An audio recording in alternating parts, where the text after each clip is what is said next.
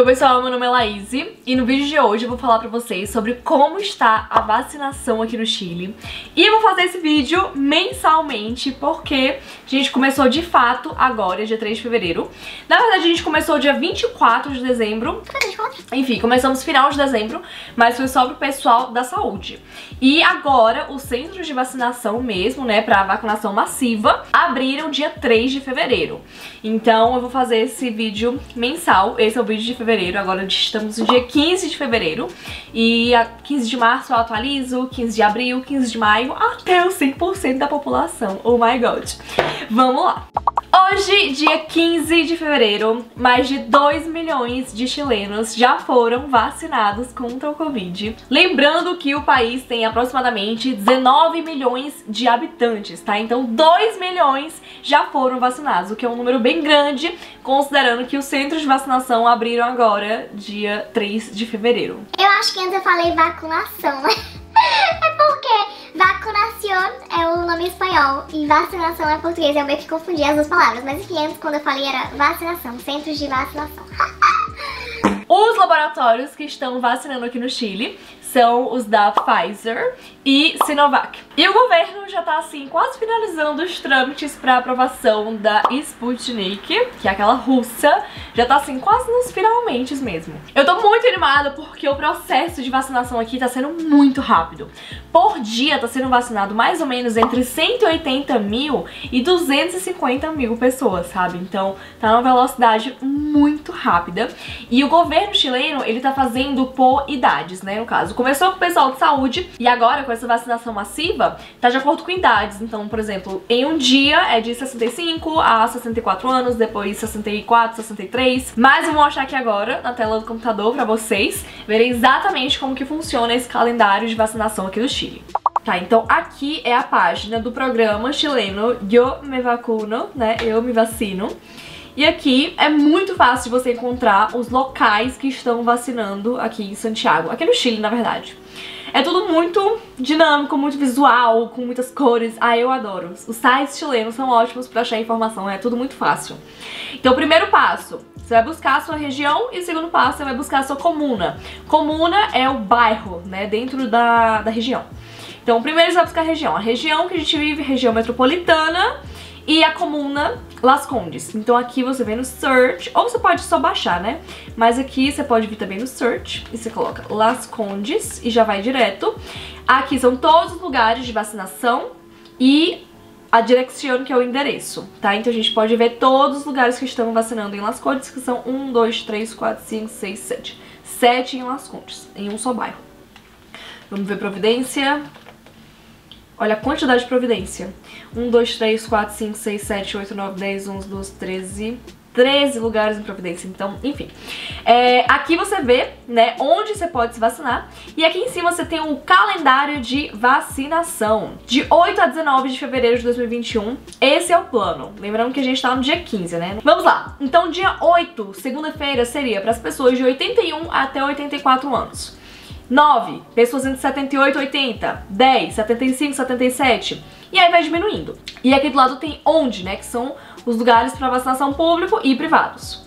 E aqui também podem se vacinar nesses dias as pessoas de função essencial para atenção direta na cidadania, né? Ou seja, cargos públicos, ou enfim, cargos onde você precisa atender o público as pessoas de farmácias, pessoal de laboratório que realiza detecção né, do Covid, pode se vacinar também, pessoal que desenvolve funções críticas do Estado e é necessário apresentar a cédula de identidade e ou credencial que acredite a sua atividade. Você precisa, precisa ter a sua cédula de identidade chilena, caso você more aqui, tem que estar vigente ou mostrar que você está em trâmite. E para estrangeiros que venham, tipo, só de turismo, antes ia ser permitido, mas agora não mais, o governo vetou. O Peru tava oferecendo um pacote turístico que era Passagem, hospedagem e a vacina do Covid por mil dólares. Menina, foi uma confusão, uma treta, uma babado.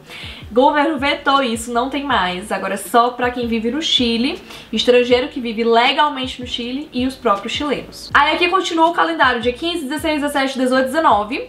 E aí acaba no dia 19 para pessoas de 65 anos, tá? E aí depois do dia 19 eles vão liberar o próximo calendário que vai continuar baixando a idade de 65 para 64, 63, 62 e vai baixando. E aqui tem os números da nossa vacinação total do país. 2.092.453 chilenos já foram vacinados. E o total de pessoas hoje, hoje não, ontem no caso, né, dia 15 de fevereiro, que agora já é 16. 239.932 mil, ou seja, 240 mil pessoas em um dia, entendeu? Gente, é loucura, é muita gente sendo vacinada. Ai, que felicidade, sério. E aqui eles falam também sobre os grupos prioritários para vacinação durante o primeiro trimestre de 2021 a nível nacional, que começa pelo pessoal de saúde, tá?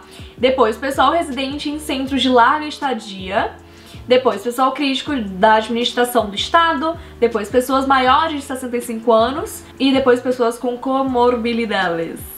Tá, então qual é a meta do governo chileno para o primeiro trimestre de 2021 nesse tema de vacinação? Eles querem vacinar até 5 milhões de pessoas no primeiro trimestre, ou seja, até março. Até agora, dia 15 de fevereiro, já são 2 milhões de pessoas vacinadas, só que a gente começou dia 3, assim, né, na vacinação massiva. E até o final do primeiro semestre de 2021, ou seja, até junho, eles querem vacinar 15 milhões de pessoas ou seja, 80% da população. Lembrando que a população do Chile tem 19 milhões. Então, assim, tá todo mundo muito otimista quanto a essas metas, porque tá caminhando muito rápido, numa velocidade realmente muito, muito, muito veloz. Então essas metas estão bem realistas, tá? Então mais provável é que realmente até o final de junho, 80% da população do Chile já esteja vacinada. E por último, vou falar pra vocês o porquê que a campanha de vacinação aqui no Chile tá dando tão certo. Por que que tá sendo tão rápido tudo isso? Então, basicamente, o ministro de Saúde falou numa reportagem para o Diário Espanhol que o Chile tem muita experiência nesses processos de vacinação em grande escala. Existe um plano nacional de vacinação muito sólido desde 1978. E fora isso, ninguém se vacina aqui no Chile sem apresentar seu documento de identidade, né, o seu RUT chileno. Então isso ajuda a ter uma estatística muito certeira da quantidade total real de pessoas que estão sendo vacinadas. E fora isso, o Chile já tinha firmado acordo com os grandes laboratórios e já tinha feito uma encomenda muito grande de vacinas, incluindo as da Pfizer, né, que são essas que a gente está atualmente junto com a Sinovac, as da Johnson Johnson, as da AstraZeneca, enfim. Ai, eu não sei falar esses nomes de laboratórios chiques. Mas enfim, ele já tinha desde o começo solicitado e já tinha firmado esses acordos, né, de grandes quantidades da vacina desde o início.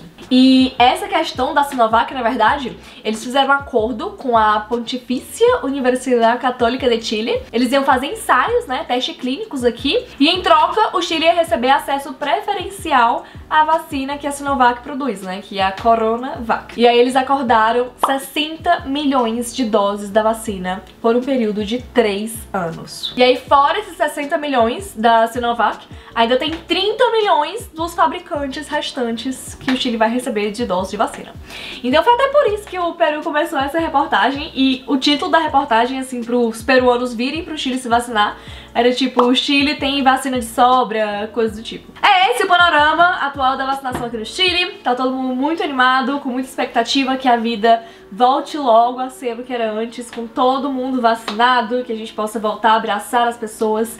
E pra mim, principalmente, que a gente possa voltar a atuar no turismo, que a gente possa receber os brasileiros sem a necessidade de quarentena obrigatória de 10 dias, que eu já aproveito pra falar que não tem nenhuma, nenhuma perspectiva de quando eles vão suspender essa medida. Pode ser que suspenda amanhã? Pode, sabe? Mas não tem como saber, gente. Não tem nenhum precedente pra isso e o governo não fala nada. Então a gente só tem que esperar mesmo, mas estamos com as expectativas muito altas com essa velocidade de luz aí, velocidade do cometa dessa vacinação.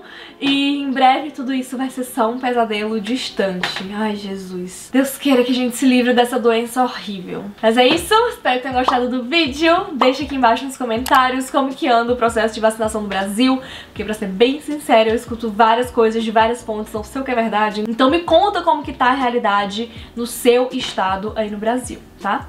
Eu tô me achando muito repórter desse jeito que eu tô falando assim, com essa voz de repórter. Meu Deus, incorporei aqui pra dar notícia.